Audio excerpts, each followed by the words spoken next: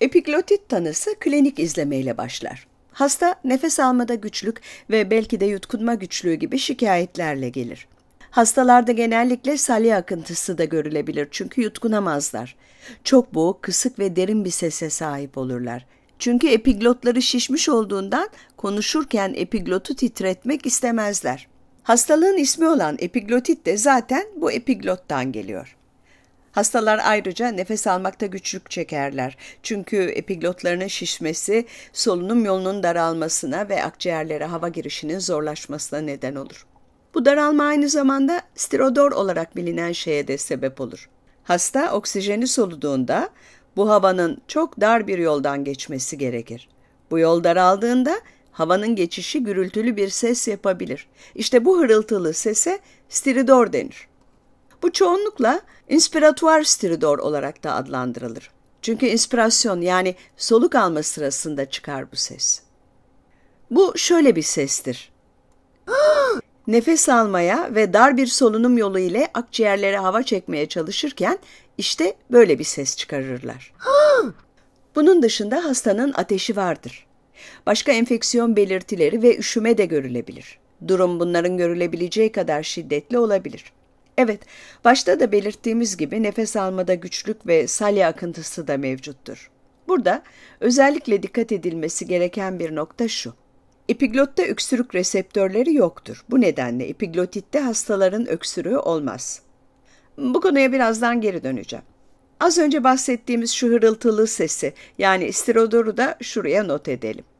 Bu hastaların sahip olabilecekleri başka bir belirti de genellikle tripod pozisyonu olarak bilinen bir durumdur. Her şeyden önce hastalar ağızlarını açık tutmaya çalışırlar. Bunun için de boyunlarını ve çenelerini ileri doğru uzatırlar. Çünkü bu aslında solunum yolundaki daralmayı kısmen hafifleten bir şeydir.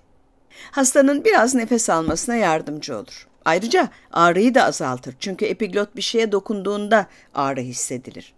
Bunun için hastalar hava yollarını açarak epiglotu geri çekmeye çalışırlar. Tripod pozisyonunu göstermek için bir çöp adam figürü kullanacağım. Evet, hasta mesela oturuyor olabilir ve öne doğru eğilir.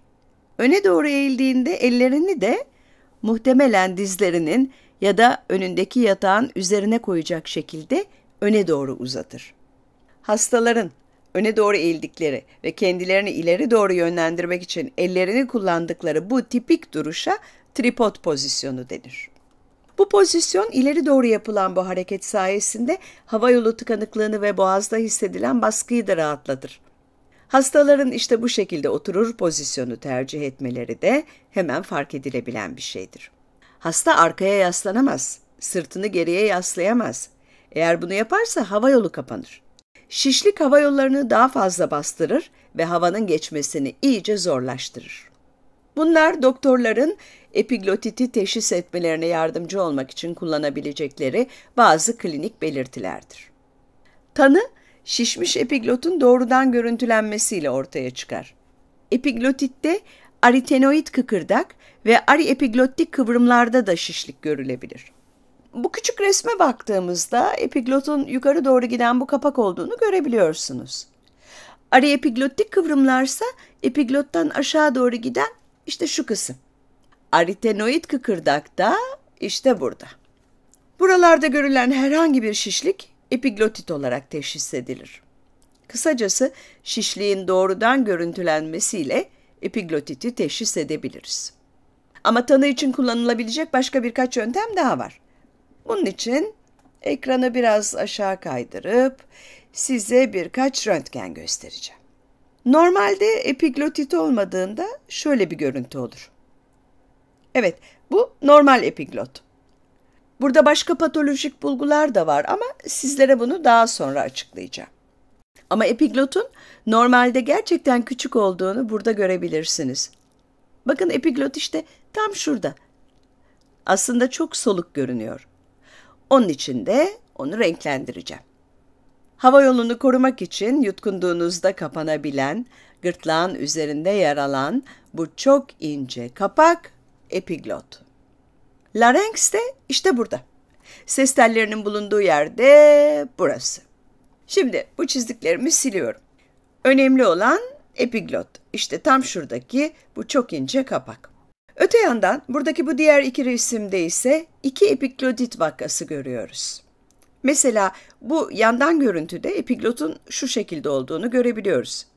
Evet, burada görebilirsiniz. Bunu tekrar boyayayım. Hmm, bu biraz daha şiş duruyor değil mi?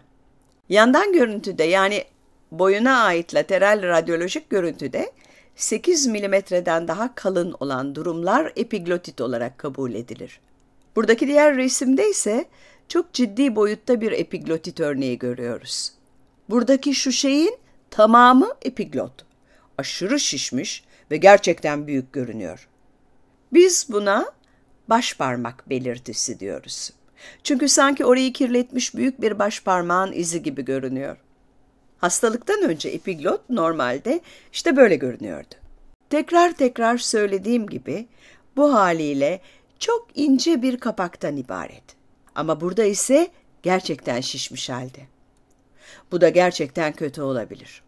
Tabii bunun hava yolunu nasıl kapatıyor olabileceğini anlamak çok da zor değil. Radyoloji de işte bu şekilde epiglotit tanısına yardımcı olmak için kullanılabilir. Tanı için kullanılabilecek diğer yöntemlerden biri de boğaz kültürü. Bunu yapmak için doktor bir parça pamuk ya da ucu pamuklu bir çubuğu boğazın arka tarafına yani tam şuraya küçük dilin hemen arkasına sürter. Bu epiglotite sebep olan bakteriyel organizmanın tanımlanmasına yardımcı olabilir. Eskiden epiglotite sebep olan en yaygın organizma H influenza olarak da bilinen Haemophilus influenza'ydı. Adında influenza geçiyor ama aslında bu grip virüsü değil, bir bakteri. Evet, Haemophilus influenza bir bakteri. Yani ismi biraz yanıltıcı. İşte bu bakteri Amerika Birleşik Devletleri'nde ve aslında tüm dünyada epiglotitin esas nedeni olarak görülüyordu. Hatta daha spesifik olarak belirtirsek, hastalığın esas nedeni olarak görünen şey Haemophilus influenza tip B idi. Yani epiglotite sebep olan şey H influenza'nın bu spesifik tipiydi. Neyse ki modern tıp sayesinde günümüzde Hib aşısı yani Haemophilus influenza tip B aşısı adı verilen bir aşımız var. Bu aşı epiglotit vakalarının azalmasına epey yardımcı oldu. Epiglotite neden olduğu bilinen ancak H influenza kadar ciddi olmayan diğer bazı bakterilerden de söz edebiliriz. Örneğin stafilokoklar ve streptokoklar. Hatta daha spesifik olarak Streptokok pneumoni, Streptococcus pyogenes ve Staphylococcus aureus. Bunların hepsini epiglotiti teşhis etmek için ve ardından da uygun tedaviyi belirlemek için kullanabilirsiniz. Hmm, tedaviden bahsetmeden önce ekranı biraz aşağı kaydırıp klinik tablodan, klinik semptomlardan tekrar söz etmek istiyorum. Aslında epiglotite çok benzeyen bir hastalık daha var. Kurup adındaki bu hastalık laringotrakeit olarak da bilinir. Boğazın yani ana solunum yolu olan trakeanın enfeksiyonunu tanımlamak için kullanılan bir hastalıktır. Şuraya tekrar solunum yolunun kapataslak bir çizimini yapacağım. Larynx yani gırtlak bu çemberin içinde. Evet, bu gayet kabaca bir çizim oldu. Kurup laringotrakeit hastalığıdır dedik. Yani bu hastalık gırtlak ya da diğer adıyla larynx ve larynx'in hemen altındaki soluk borusu ya da diğer adıyla trakeayı içeriyor. Öte yandan epiglotit ise epiglot, ariepiglottik kıvrımlar ve aritenoidin şişmesiyle alakalı. Yani larynx'in üst kısmında yer alan şeylerle ilgili. Kurupta larynx ve trakea şişer. Dolayısıyla stiridor hala belirtilerden biri olacaktır. Çünkü yine hava yolunda daralma söz konusu. Akciğerlere girmeye çalışan hava bu durumda da gürültülü bir ses çıkarır. Bunun epiglotitin belirtilerinden biri olduğunu zaten söylemiştik. Kuruptaki en büyük farklardan biri hastada herhangi bir salya akıntısı görülmemesidir. Hastalar biraz daha iyi yutkunabilir.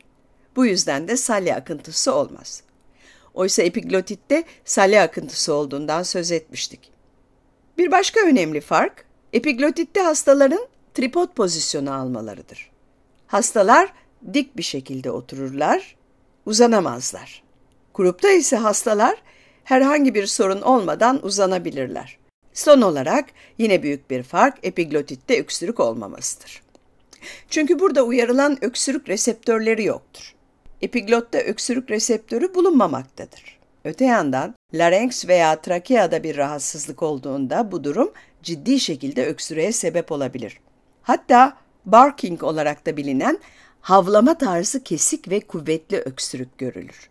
Ekranı sürekli oynatıp duruyorum ama bu noktada son birkaç şey konuşmak için tekrar öteki görüntülere dönmem gerekiyor. Yani öncekilere.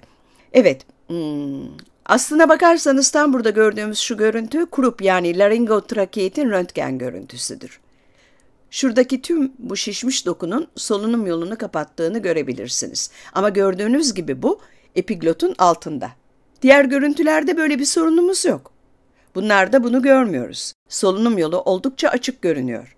Röntgen görüntüsünde kurupla epiglotit arasında işte böyle önemli bir fark var. Şimdi yine aşağıdaki notlarımıza devam edelim ve epiglotit tedavisiyle videomuzu bitirelim. Her şeyden önce en önemlisi solunum yolunu korumanız lazım. Bu epiglotit için önerilen bir numaralı tedavidir. Çünkü solunum yolları çok hızlı bir şekilde kapanabilir. Hatta şöyle ki ateşin yükselmesinden 1-2 saat sonra hastada şişme başlayabilir ve hasta nefes almada zorluk çekebilir. O yüzden bir numaralı tedavimiz solunum yolunun korunması. Buraya bir de küçük not ekleyelim. Eğer epiglotitten şüpheleniyorsanız muayene için sakın dil çubuğu kullanmayın. Bu gerçekten çok kritik. Çünkü dil çubuğu kullanmak daha fazla şişmeye neden olabilir. Epiglotit tanısı koymak için solunum yolunu incelemek ancak ve ancak akciğerlere oksijen verilmesini sağlamak adına boğazın içine bir tüp yerleştirmek ve solunum yolunu korumak üzere tüm şartlar uygun olduğu sürece yapabileceğiniz bir şeydir. Tekrar ediyorum. Solunum yolunun korunması çok önemli. İkinci olarak hastaya hemen antibiyotik verilmelidir. Süre olarak genellikle yaklaşık 7-10 gün kadar süren bir tedavi uygulanır. Ancak yaklaşık 2-3 gün içinde semptomların bazılarının düzelmeye başladığı görülür. Hasta semptomlar düzelmeye başlayana kadar hastanede gözlem altında tutulmalıdır ve tam tedavi için antibiyotik verilmelidir. Hasta 7-10 günlük antibiyotiğini tam olarak almazsa epiglotit tekrarlayabilir. Bu sebeple hastalara antibiyotiğin tamamını bitirene kadar almaları gerektiği hatırlatılmalıdır. Son olarak hastalığın önlenmesi ise HIB aşısı ile mümkündür. Elbette ki bunun yanı sıra kişisel eşyaların paylaşılmaması ya da epiglotitli bir hasta ile karşılaştıktan sonra ellerin iyice yıkanması gibi bazı önlemler de alınmalıdır.